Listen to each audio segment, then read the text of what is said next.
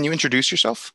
Hi, my name is Violeta Ivanova. I'm a physiotherapist in Finland. I work uh, mostly in neurological and pediatric physiotherapy. And I have a Bachelor of Sciences in Physiotherapy from Satakunta University of Applied Sciences in Finland. What made you want to get into esports? Starting from a love for gaming, uh, generally, like most people in esports, I love to play games and also seeing that uh, it is a niche that has not yet developed enough in the healthcare area. There's not enough healthcare professionals involved, and it is very difficult when a gamer goes to a typical healthcare professional in a, a healthcare center or a hospital and requires treatment.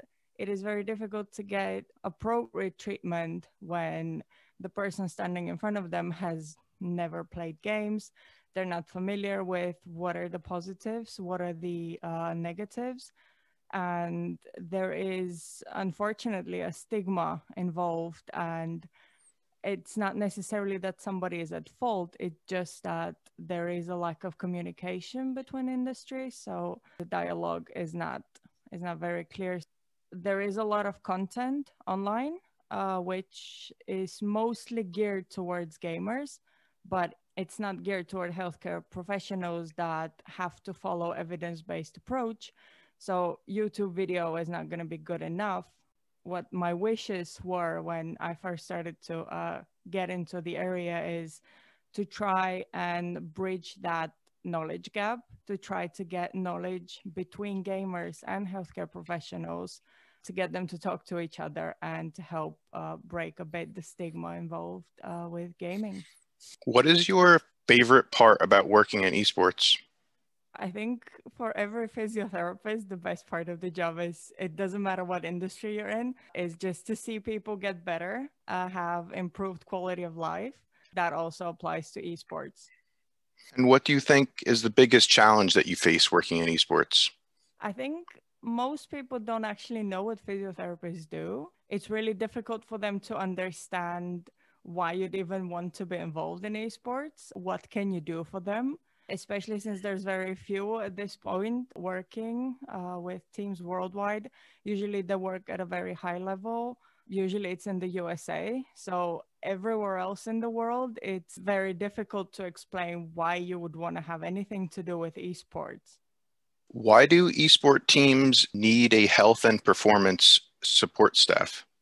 I think the basic of answer for that would be taking care of your health is the the really good baseline that you want to have. It applies for everybody. And in esports, especially because it is so highly competitive, it is a very quickly developing industry we have a lot of risk factors that we're not fully aware of. They're not fully researched yet in specificity to esports. So until we have more industry data, there are a few things that we can do. We can use uh, knowledge that we already have from other industry that involve a lot of the, the similar kind of sedentary working hours at a computer desk all day and we can use that and the rehabilitation methods that we already know from from those industries and implement them in esports uh, for treatments for injury prevention and like at least from a physiotherapist point of view until we can get that very industry specific uh, kind of protocol that we can apply then uh, for even better treatment but of course, we can also work in multi-professional teams as it is in traditional healthcare. Physios rarely work on their own. There's always nursing staff, there's nutritionists, there's psychologists, occupational therapists, and at least I would personally like to see that also applied in esports. Uh, I know that at some high levels that is already happening, but it would be very beneficial for more teams to get that. And of course, we can work together with different performance staff um, with different kind of coaches to improve the players' performance. Uh, because of course, physical training does translate into cognitive performance as well. So we have a lot of knowledge already from traditional sports, and we know uh, based on research how uh, improved cognitive performance can get through physical activity on top of all the mental and physical health benefits that already come with movement. So I think there is definitely a lot that healthcare professionals, that different kind of sports sciences staff uh, can provide to an esports team, and it can ensure the the long term development of the athletes. What are the different kinds of jobs that are available in esports performance? I think that would depend on what kind of person you're hiring. There is a lot of overlapping of skills because again there's not really that many uh, professionals that are involved in esports there's a lack of education that is very specific to different aspects of esports i'm talking higher education universities colleges and so on where there is it's primarily in business and marketing so in those parts maybe some sports sciences as well you can get esports specific um, but it's not that common so you would see I would say the general areas would be mental, physical, nutrition, and gaming. So, in the mental, you would have the uh, kind of cognitive performance, a lot of mental coaching, people that are with psychology background. In some cases, you would have maybe a physio, but not necessarily. For physical health and performance, you would definitely have uh, physiotherapy, sports sciences, somebody with a fitness background that is a personal trainer. Uh, then you have for nutrition, you would have the nutritionists or other kind of, uh, some teams have chefs, uh, they're private chefs or catering. You would have someone from sports sciences to be also educated in nutrition.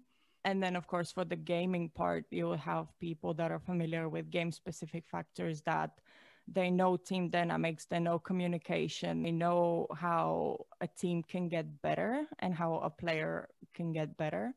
Uh, so again that's a lot of positions. When you think that in some cases there's only one person doing all of that you can kind of imagine that this is not realistic to expect of one single coach to be able to be versed in all of these aspects because even if you study uh, medical degree or healthcare, you're not, you will have a lot of base knowledge, but you will not be nearly uh, prepared enough to take on all of these. And what is led for somebody without any education and all of that have all of that information on their shoulders. There's a lot of jobs. Uh, at least these are from the kind of team management, uh, like player management part. Otherwise, you would have all the marketing and business and commenting and streaming and uh, playing and merchandising designing everything there is. It, it's a full industry. Like you can have pretty much anybody uh, involved in there.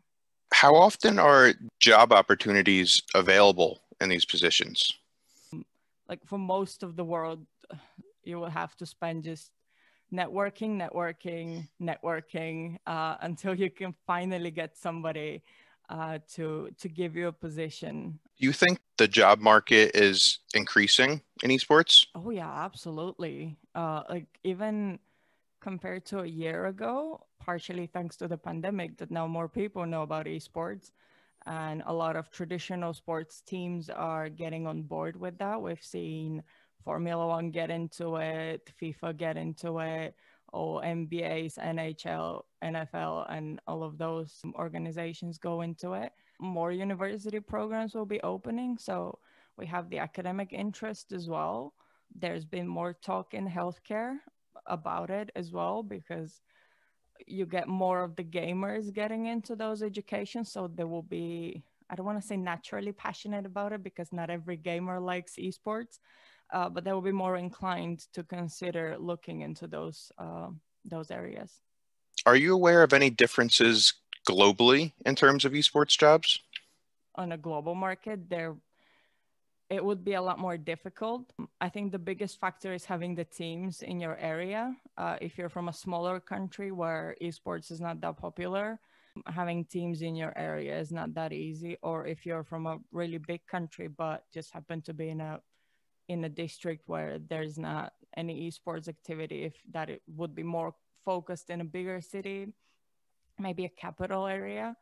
Uh, so you wouldn't have the access. The other factor would be that most teams, they're not uh, together in a team house. They would be basically working from home from wherever they are in the country. So uh, it's not centralized um, enough for that. So you would first need to have the team that is in one area that is on a certain level that has certain sponsors that would then be able to afford to pay an extra staff member whether it's part-time or not uh, it is still payment. And that that team would also be interested in investing into player well-being. What areas in the esports industry do you think are trending towards more job opportunities? I think we've seen a lot of focus on mental coaching so far. I think that is like the the staple person that a team would want to get uh, once they get to the point that they can bring in somebody else. So I think mental coaching has been uh, a staple. Now some teams are going towards uh, psychologists or sports psychology is usually um, used. Some are bringing in uh, personal trainers, uh, physiotherapists who are available. Some would have nutritionists or even their own chef, uh, which is also really good but that is also limiting because you, you need the team to be in one place. My guess would be the biggest area of increase would be in physical health. Uh, as we get more research published, as we get more people involved, uh, I think physical physical health would be the next uh, big expansion. Do you think it's realistic to be working full time in esports performance right now? Oh, absolutely. Uh, there are so many professionals in the area. There are so many capable and knowledgeable people that do work full time, that uh, they are involved in esports. They work with all the top teams and it shows in the results. Uh, the, you see the teams perform over and over again. I would definitely like to see more of that come uh, down the line because, um, as I said, it's just top levels. The more team getting into that mid tier, maybe I would say mid tier would be good. Uh, that they can start bringing in more people uh, in, then that would be uh, that would be definitely space for full time professionals to be involved. I've heard of a lot of people who begin their career with either free consulting or other forms of volunteer work. How does compensation typically work? It is unfortunate, uh, but that is pretty true. You kind of have to uh, begin with the free consult, especially like from my point of view. Uh, in physiotherapy, most teams won't have a clue what you do. Even if they know what physiotherapist is uh, at a hospital setting, they wouldn't know how that would translate into working in a team. What can you even do for them? Like they would, they would have no clue. So you have to basically start with trying to present yourself uh, in a way that you can improve performance. That comes from knowing the, the specifics of uh, what the team is competing in, what age group they are, uh, because that would affect the risk factors. Being able to pull on the massive clinical evidence that we already have from other industries, translating it into esports and applying it or adapting it you might have to be able to do virtual consults if the players are all over the place. So you would have to explain that in a very marketing way, I would say, uh, to um, to a team. Maybe do a couple of consultations with the players. Maybe do some evaluations. Probably give them a few exercises to try out to see how it feels. And maybe if they're interested after that, they will call you. Maybe not.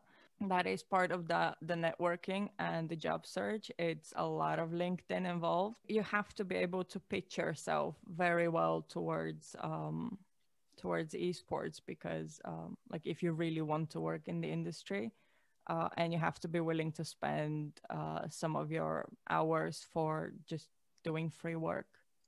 Where would you go to look for jobs in the esports field LinkedIn. I, I have found so far that that is the the one place that most teams would have some staff members on LinkedIn worldwide. That is, uh, in some countries it is more advanced than others. It wouldn't be a job listing under the job section in LinkedIn. You just have to find the teams that you really like and you would really like to work with. You really support the, the organization that they're building and that you think that you can contribute something to make it even better. Be very proactive about it. You will have some not answered messages, that's for sure. Uh, but as long as you you keep trying to get in touch with people, eventually somebody will notice and they will care uh, about their players enough to um, to get somebody else who can help.